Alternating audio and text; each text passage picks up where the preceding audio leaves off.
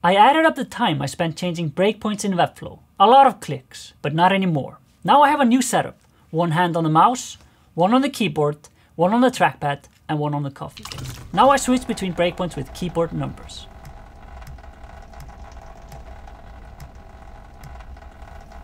I literally say billions and billions of nanoseconds.